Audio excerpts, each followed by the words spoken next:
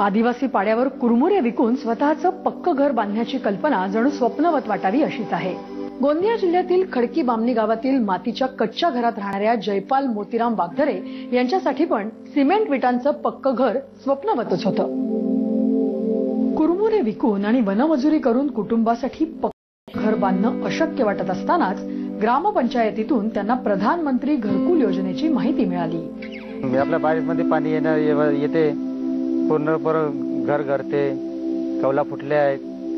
कसं करावं का करावं हाच ते विचार येते बारीक झाल्यावर तेच विचार आहेत जास्ती करून. वरून नाल्याची पूर येते धोड्याचं पाणी.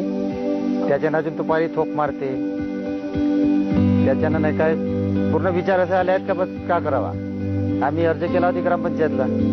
अर्ज दिल्याच्या बाद म्हणजे आम्हाला हे घरकुलं भेटलं. मातीच्या घर होतं पहिले. आता घरकुल भेटलं हा. हे आम्ही आज चांगल्या चांगल्या याचं निपटलं काम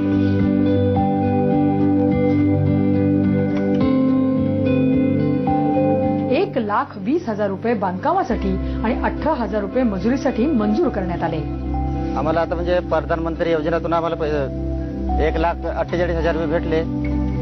तर त्याच्यापासून काम आमचं पूर्णपणे म्हणजे निपटूनच गेलं असं समजा. काम झाल्याच्या बादमध्ये आमची पूर्ण बिलाही उचलला आम्ही पैसेही उचलला. आमचं काम पूर्ण कंप्लीट झालं. आपल्या कुटुंबाला सुरक्षित घर मिळालं तर माणसाच्या अर्ध्या चिंता कमी होतात. या जाणीवेतूनच राज्याचे मुख्यमंत्री देवेंद्र फडणवीस ही घरकुल योजना जास्तीत जास्त गरजू लोकांपर्यंत पोहोचवत आहेत. आमचं घर कंप्लीट झालेलं आहे. प्रधानमंत्री आवास योजनेतून.